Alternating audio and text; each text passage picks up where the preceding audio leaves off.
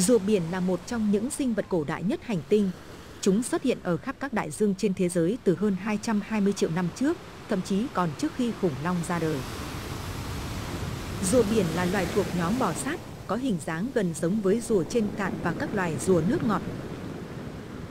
Khác với rùa sống trên mặt đất, rùa biển không thể thu đầu và chân vào trong mai được.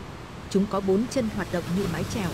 Thức ăn chính của rùa biển bao gồm cỏ biển, sứa biển, cua, các loài thân mềm và hải biên. Hầu hết rùa biển đều sống ở khu vực nhiệt đới quanh đường xích đạo, trừ loài rùa da có thể sống ở khu vực ôn đới với nhiệt độ nước biển thấp hơn. Chúng sống ở các thảm cỏ biển, các dạng san hô và khu vực bờ biển.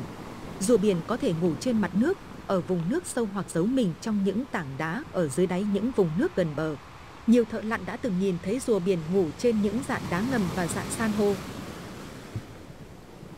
Trong môi trường tự nhiên ổn định, một chú rùa biển có thể có một vòng đời khá dài. Tuổi thọ của rùa biển có thể lên tới 80 năm. Rùa biển di cư hàng trăm đôi khi hàng nghìn km từ nơi kiếm ăn sinh sống đến bãi đẻ và sau đó quay về. Rùa biển cái bơi qua những ngọn sóng để đẻ trứng trên bờ biển. Chúng chỉ rời khỏi mặt nước lên bờ trong thời kỳ đẻ trứng này.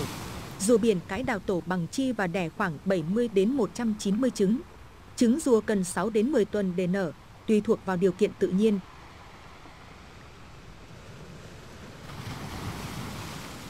Một điều thú vị là giới tính của rùa con được quyết định bởi nhiệt độ của các biển nơi chúng được sinh ra. Dưới 30 độ C chủ yếu là rùa biển đực, ngược lại trên 30 rùa cái. Rùa con ngay khi sinh ra đã có thể định vị phương hướng và bơi về hướng biển, bắt đầu một chuyến hành trình dài. Nay, trên thế giới có tất cả 7 loài rùa biển. Tên gọi của 7 loài này đều có những câu chuyện rất thú vị. Trong clip này chúng ta cùng tìm hiểu về từng loài và xem loài nào sinh sống tại các vùng biển Việt Nam cần được bảo vệ.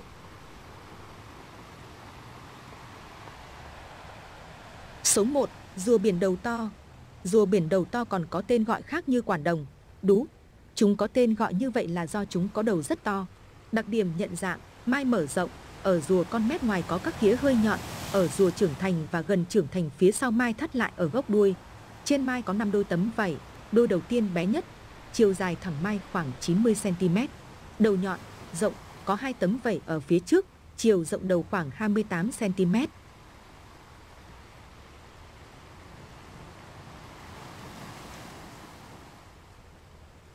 Trên mỗi chân bơi có hai móng vuốt sắc, khi còn nhỏ dưới bụng có màu nâu, chuyển dần sang màu vàng và vàng da cam khi trưởng thành. Ở viên ngoài của yếm có ba đôi tấm xương, Rồi trưởng thành có kích thước và trọng lượng trung bình khoảng 100 kg. Rùa biển đầu to là loài ăn tạp, ăn chủ yếu là các động vật không xương sống ở tầng đáy. Bộ hàm lớn và mạnh mẽ của nó đóng vai trò như một công cụ hữu hiệu để hạ gục con mồi. Rùa biển đầu to được tìm thấy ở Đại Tây Dương, Thái Bình Dương và Ấn Độ Dương, cũng như biển địa Trung Hải. Nó dành phần lớn cuộc đời của mình trong môi trường sống ở nước mặn và cửa sông, với những con cái lên bờ trong thời gian ngắn để đẻ trứng. Rùa biển có tỷ lệ sinh sản thấp, con cái đẻ trung bình 4 ổ trứng và sau đó không đẻ trứng trong 2 đến 3 năm. Rùa biển đầu to đạt đến thời kỳ trưởng thành sinh dục trong vòng 17 đến 33 năm và có tuổi thọ từ 47 đến 67 năm.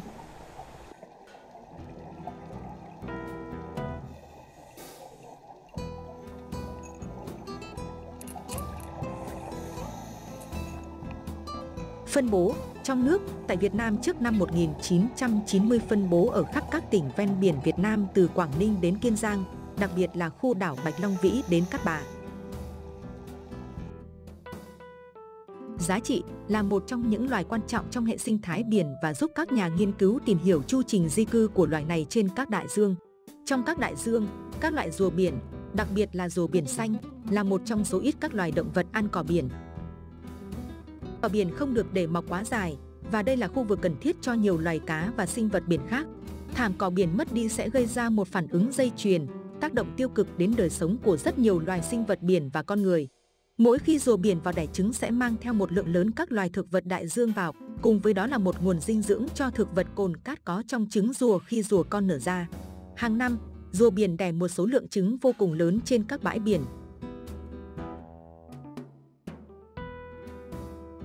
Tình trạng do tình trạng đánh bắt quá mức nên dự đoán số lượng giảm trên 50%, hiện chỉ còn dưới 50 cá thể trưởng thành. Hiện nay chỉ còn thấy về và chưa thấy đẻ trứng ở vườn quốc gia núi Chúa, Ninh Thuận. Rùa đầu to được xếp hạng CR rất nguy cấp đang đứng trước một nguy cơ cực kỳ lớn sẽ bị tuyệt chủng ngoài thiên nhiên trong một tương lai gần. Gần đây nhất rùa đầu to đã được xếp hạng trong danh sách đỏ các loài bị đe dọa của IUCN vào năm 2015, được liệt kê là sẽ nguy cấp. Biện pháp bảo vệ, biện pháp hành chính đã đưa vào luật thủy sản Việt Nam, nghiên cứu bổ sung số lượng bằng biện pháp nhân tạo, bảo vệ nghiêm ngặt các khu vực bãi đẻ và nghi ngờ bãi đẻ của loài này để bảo tồn nguồn gen tự nhiên. Loài cũng đã được liệt kê trong sách đỏ Việt Nam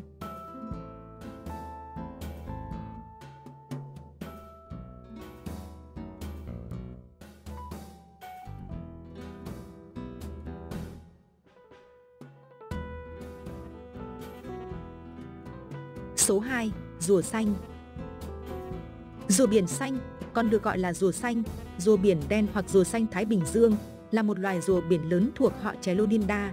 Nó là loài duy nhất trong chi Chelonia. Phạm vi của nó mở rộng khắp các vùng biển nhiệt đới và cận nhiệt đới trên thế giới, với hai quần thể khác biệt ở Đại Tây Dương và Thái Bình Dương, nhưng nó cũng được tìm thấy ở Ấn Độ Dương. Tên rùa xanh đề cập đến chất béo màu xanh lá cây, thường được tìm thấy bên dưới mai của nó.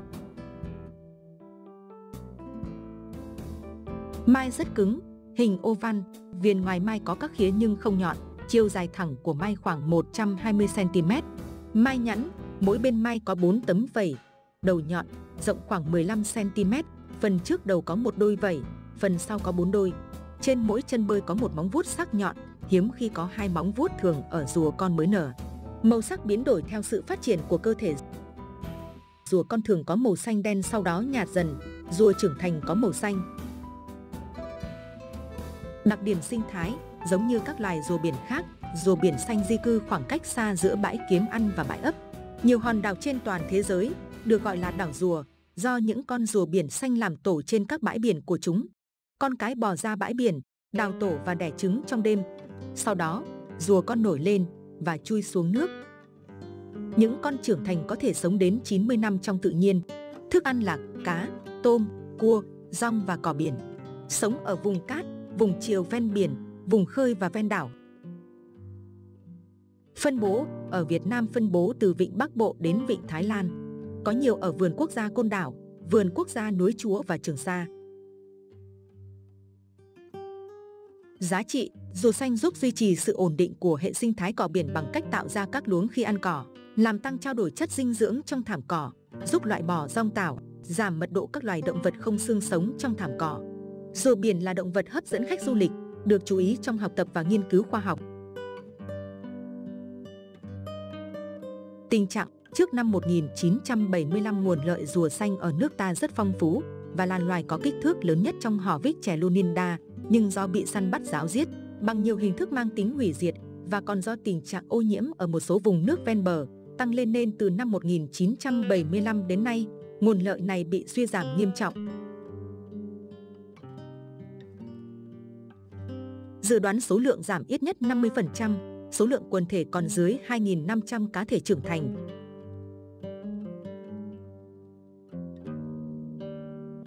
Phân hạng, rùa biển xanh được xếp vào phân hạng nguy cấp N, cả trong sách đỏ Việt Nam và sách đỏ thế giới IUCN.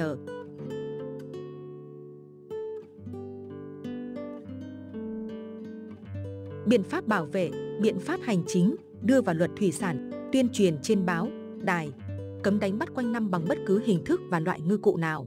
Biện pháp kỹ thuật, ấp trứng tự nhiên và nhân tạo, cứu hộ rùa biển, thả đàn rùa con trở lại biển, đánh dấu rùa biển đã được đưa vào sách đỏ Việt Nam năm 2000.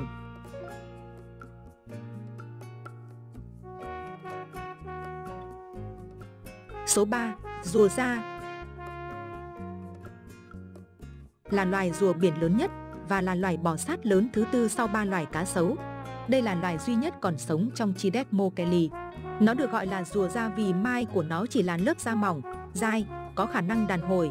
Thay vào đó, lưng của chúng được bao phủ bởi lớp da và thịt trơn, là loài duy nhất tồn tại trong họ Desmochein. Rùa da không có răng mà chỉ có các điểm trên rìa cắt sắc nhọn thuộc môi trên với các gai mọc ngược trong họng giúp nó nuốt thức ăn.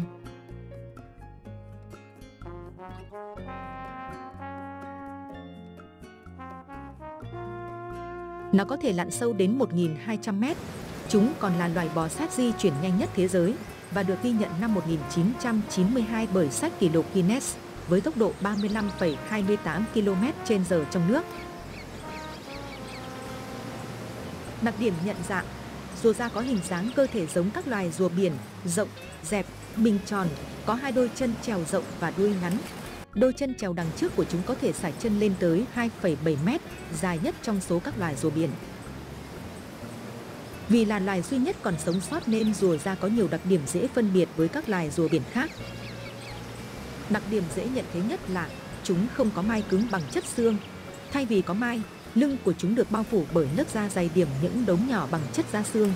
Chạy dọc lưng chúng là 7 đường gờ riêng biệt. Rùa da là độc đáo duy nhất trong số các loài bò sát ở chỗ vảy của nó không có chất keratin. Toàn bộ phần lưng rùa da có màu xám sẫm hoặc đen và các chấm,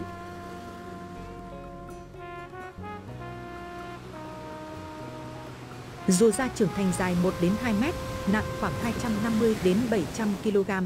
Con rùa da to nhất được biết dài 3 mét, nặng 916 kg ở vùng biển phía tây Wales.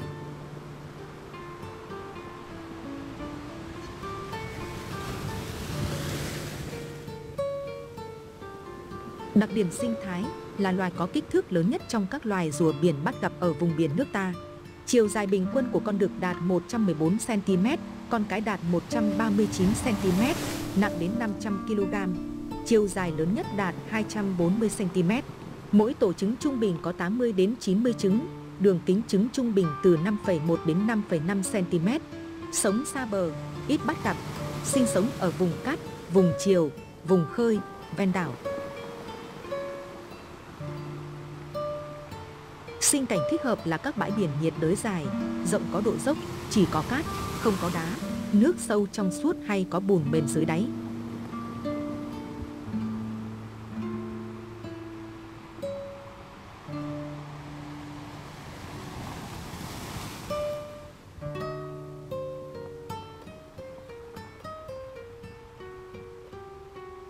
Phân bố Trong nước phân bố ở vùng biển các tỉnh Quảng Ninh, Hải Phòng, Thái Bình, Nam Định, từ Thanh Hóa tới Bình Thuận và Trường Sa, là một trong những loài quan trọng trong hệ sinh thái biển và giúp các nhà nghiên cứu tìm hiểu chu trình di cư của loài này trên các đại dương. Rùa da giúp duy trì lưới thức ăn của biển. Chúng có khẩu phần ăn ưa thích là sứa. Chúng có thể tiêu hóa được các chất độc từ sứa với kích thước và khối lượng lớn giúp chúng tiêu thụ rất nhiều sứa trong một ngày. Do đó, rùa da giúp kiểm soát số lượng sứa trong tự nhiên, giúp cho trứng cá và cá con là nguồn thức ăn chủ yếu của sứa, có cơ hội để phát triển số lượng rùa da giảm đi sẽ dẫn đến sự tăng lên của sứa, giảm số lượng cá trong tự nhiên.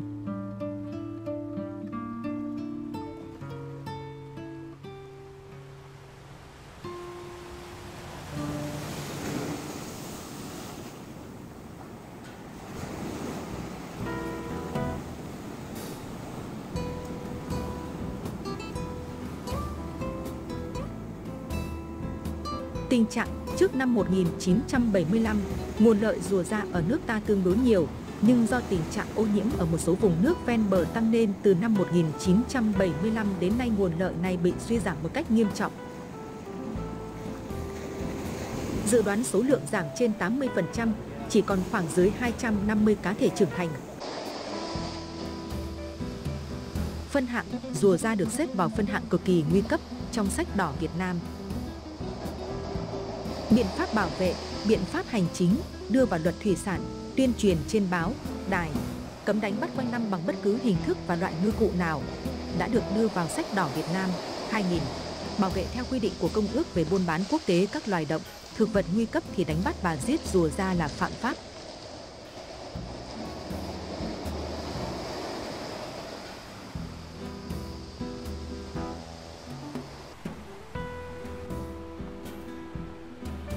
Số 4. Đồi mồi Đồi mồi phân bố ở vùng biển nhiệt đới và cận nhiệt đới của tất cả các đại dương lớn trên thế giới.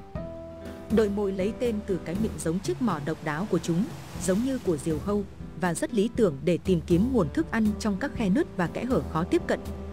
Chúng là loài rùa biển duy nhất có thể tồn tại bằng chế độ ăn chủ yếu là bọt biển. Đồi mồi đóng một vai trò quan trọng trong chức năng của hệ sinh thái biển.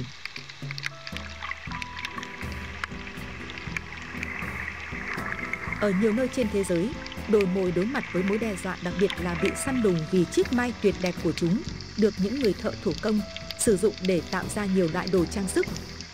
Việc săn bắt và giết đồi mồi trong lịch sử để lấy mai đã gần như đẩy loài này đến nguy cơ tuyệt chủng. Ngày nay, Công ước về buôn bán quốc tế các loài nguy cấp cấm buôn bán bất kỳ sản phẩm nào từ rùa trên thị trường quốc tế, bao gồm cả mai đồi mồi. Nhưng nạn săn bắt trái phép vẫn tiếp tục là mối đe dọa.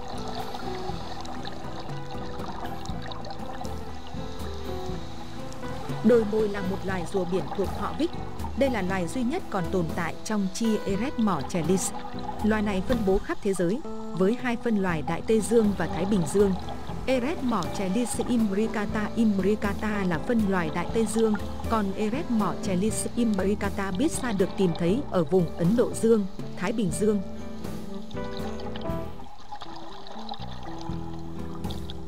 Bề ngoài của đồi mồi cũng giống như các loài rùa biển khác. Cơ thể của chúng tương đối dẹp, có mai lớn để bảo vệ cơ thể và các chi giống mái trèo thích nghi với việc bơi trong đại dương, có thể dễ dàng phân biệt loài rùa biển này với các loài rùa biển khác nhờ chiếc mỏ cong, sắc nhọn với tomium hiện ra rõ rệt. Rìa mai của chúng có dạng cưa. Đồi mồi thay đổi màu sắc tùy thuộc vào nhiệt độ của nước.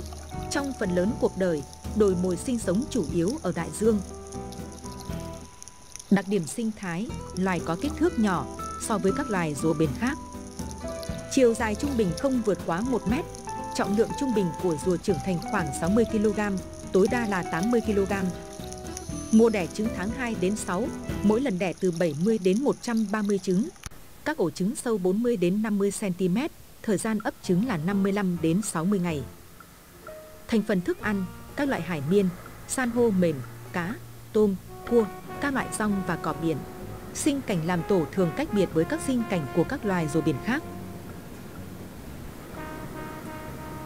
Phân bố trong nước phân bố ở các vùng biển Việt Nam trước 1990. Các tỉnh ven biển Việt Nam, chủ yếu Quảng Ninh, Hải Phòng, Phú Yên, Khánh Hòa, Bình Thuận, Côn Đảo, Kiên Giang, quần đảo Hoàng Sa và Trường Sa. Khu vực phân bố tập trung là xung quanh quần đảo Trường Sa, Côn Đảo và Phú Quốc.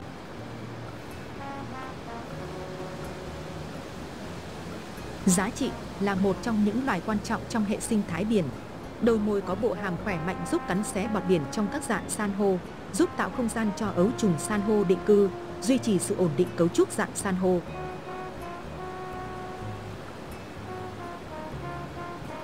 Tình trạng trước năm 1990 gặp phổ biến ở các tỉnh ven biển Việt Nam. Do nghề thủ công sử dụng mai, vậy làm đồ mỹ nghệ bán cho khách du lịch phát triển mạnh nên nguồn lợi này đã và đang bị suy giảm nghiêm trọng, vùng phân bố bị thu hẹp, Dự đoán số lượng giảm trên 50% do đánh bắt quá mức, hiện còn khoảng 1.000 cá thể trưởng thành.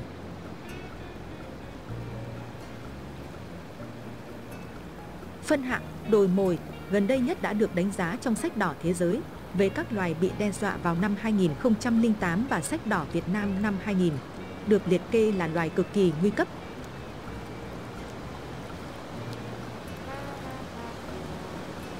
Biện pháp bảo vệ đã đưa vào pháp lệnh bảo vệ nguồn lợi thủy sản năm 1987, đề nghị đưa vào luật thủy sản, tuyên truyền trên báo chí, đài. Cấm đánh bắt quanh năm bằng bất cứ hình thức và loại ngư cụ nào đã được đưa vào sách đỏ Việt Nam 2000. Biện pháp kỹ thuật quản lý khu bảo tồn các vườn quốc gia ven biển, cho ấp trứng, thả đồi mồi con ra biển và có đánh dấu, giữ cho môi trường biển trong lành và vận động mọi người cùng làm như bạn.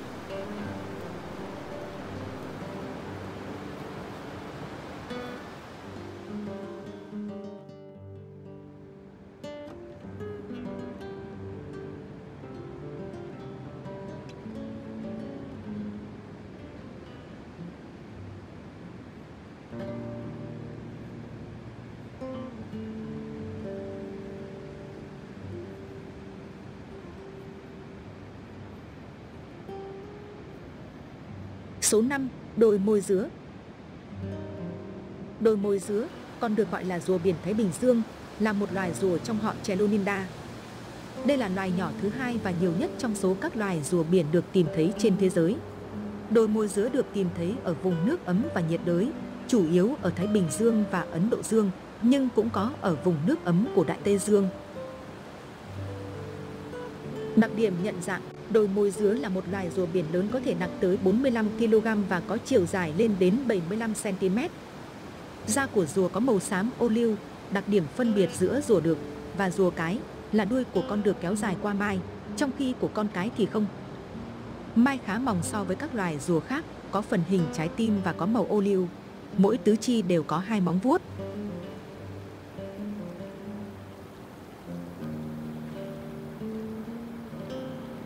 Đặc điểm sinh thái là một loài ăn thịt, chủ yếu ăn động vật không xương sống như sứa, ốc, tôm và cua. Đôi môi dứa có xu hướng ăn nhiều loại thức ăn khác nhau. Đáng ngạc nhiên là trong điều kiện nuôi nhốt, loài này đã được quan sát là có khả năng ăn thịt đồng loại. Hầu hết việc kiếm ăn diễn ra ở vùng nước nông, đáy mềm. Đôi môi dứa cũng được biết là chủ yếu ăn tạo ở những khu vực không có nguồn thức ăn khác.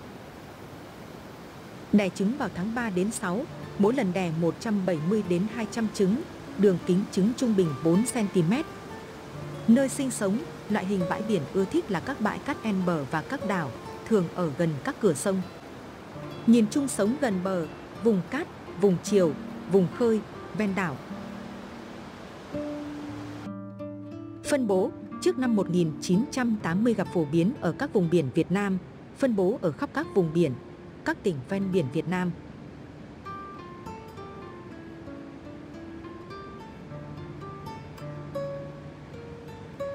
Giá trị có giá trị khoa học và thẩm mỹ là một trong những loài quan trọng trong hệ sinh thái biển và giúp các nhà nghiên cứu tìm hiểu chu trình di cư của loài này trên các đại dương.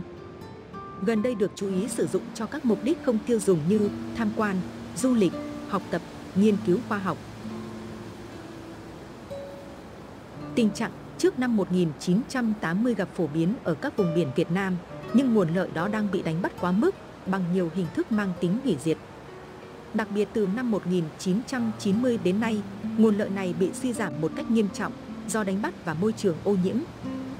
Dự đoán số lượng giảm trên 50%, hiện còn khoảng 1.000 cá thể trưởng thành. Phân hạng được xếp vào phân hạng cực kỳ nguy cấp trong sách đỏ Việt Nam năm 2000 và phân hạng sẽ nguy cấp trong sách đỏ thế giới IUCN. Biện pháp bảo vệ, biện pháp hành chính, truyền thông đại chúng qua báo chí, đài đưa vào luật thủy sản Việt Nam. Biện pháp kỹ thuật ấp trứng tự nhiên và nhân tạo, thả rùa ra biển. Nếu bạn phát hiện thấy rùa biển bị bắt, giao bán hay làm thịt, cần báo ngay cho các cơ quan và tổ chức liên quan như Chi cục Khai thác và Bảo vệ nguồn lợi thủy sản tại địa phương và IUCN để xử lý.